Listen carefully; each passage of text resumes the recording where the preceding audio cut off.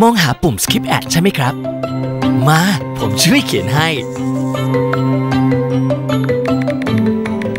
ด้วยปากกา S Pen จะเขียนวาดอะไรก็ทำได้ ใหม่ Samsung Galaxy Note 5